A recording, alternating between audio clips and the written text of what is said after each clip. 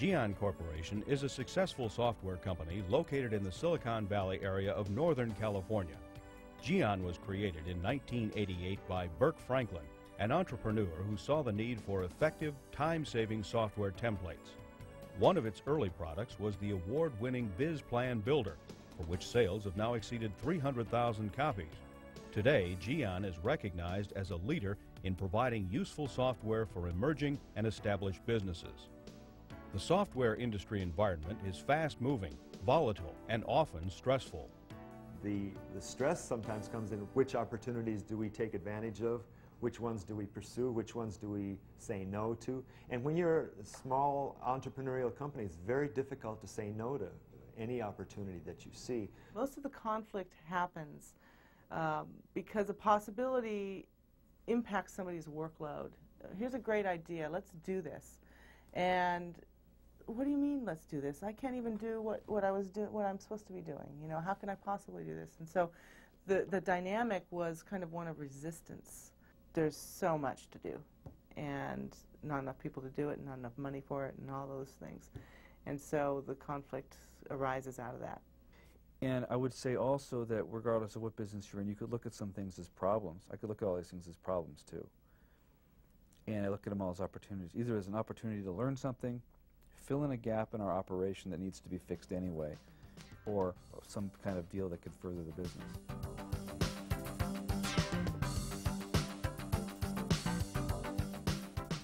Executives and professional staff at Jian must work together effectively to meet the demands of the volatile software industry.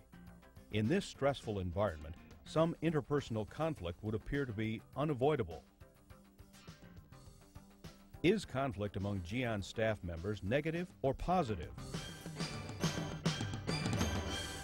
I think conflict uh, is almost desirable or, or a, a good thing that you need every once in a while because it shows that people aren't holding back their thoughts and ideas. If they're putting things out on the table and being free with putting things on the table, sure, some things are not going to match up and there's going to be conflict. Because you want people who know their business. I need my sales guy to say, hey, you know, I've got customers who want to buy this and this is what they want. I've got a product manager who says, hey, this is the stuff we can make.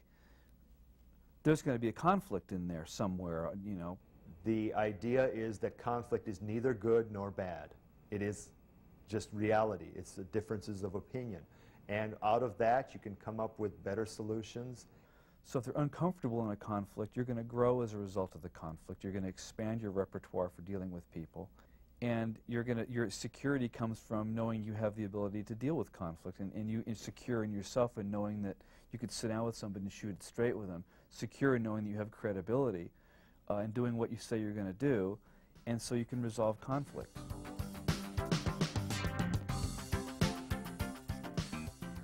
Jian executives realized that conflict should not be eliminated, but that it could be managed and controlled to benefit the company. How might Jian manage conflict?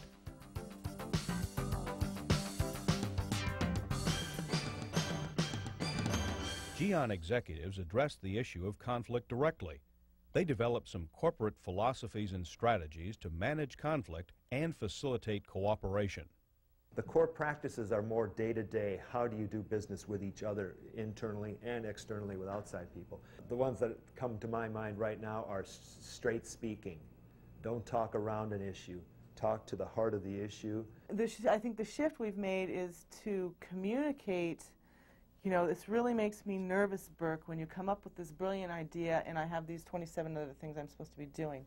You know, let's talk about that. The withholding just doesn't work. I mean, the withholding keeps you from being able to make decisions. It stops the action. It, it robs you of your velocity. I mean, there's you just have to put it out there. You have to express what you're feeling on any decision and on any conflict.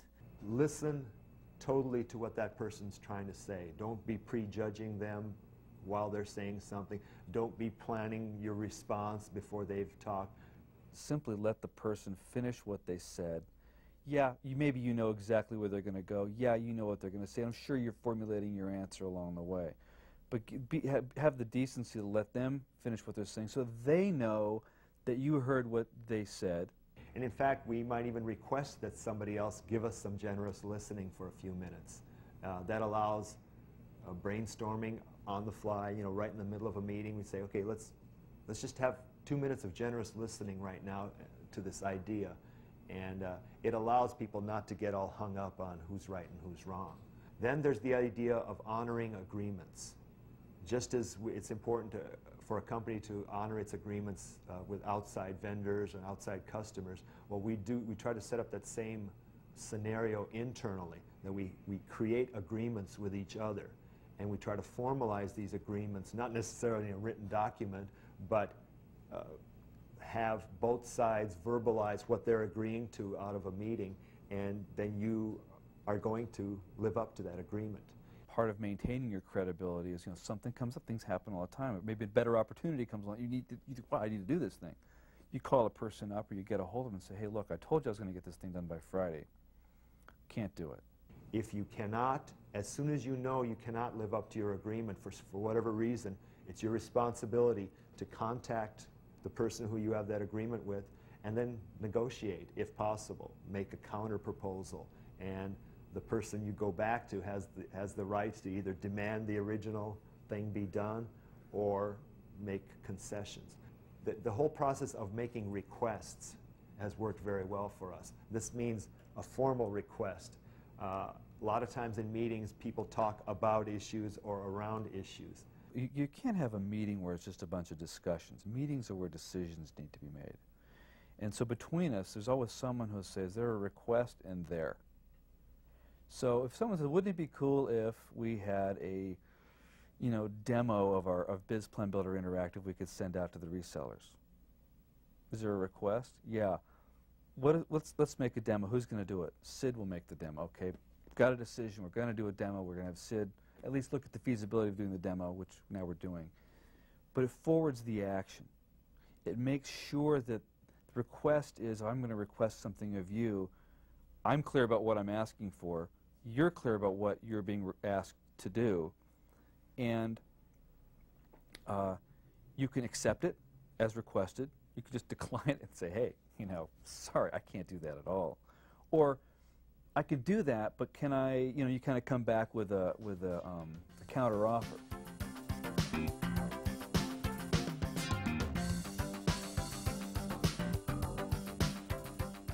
How might Jian learn and implement effective conflict management techniques? Jian used an outside consultant to assist senior managers in developing conflict management strategies.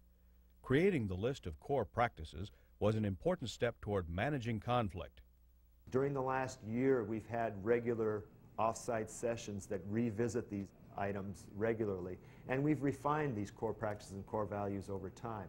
Then the next step is to take it all the way throughout the organization at Jian. And we've created a, an in-house mentorship program where each of the senior managers works with two or three other individuals to make sure that these core values and core practices are really understood and really believed in.